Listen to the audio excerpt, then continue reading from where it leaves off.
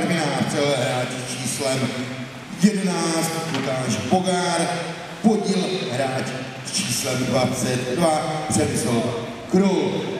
Takže si tyhle role vyměnili od prvního gólu. Stavkání 3, 1.